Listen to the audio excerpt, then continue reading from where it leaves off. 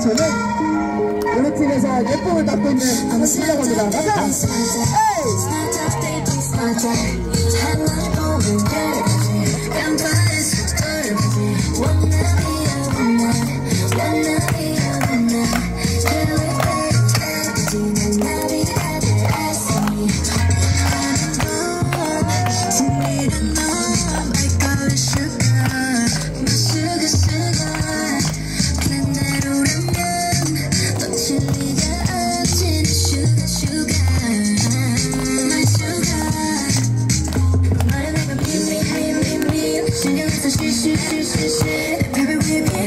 this 在心底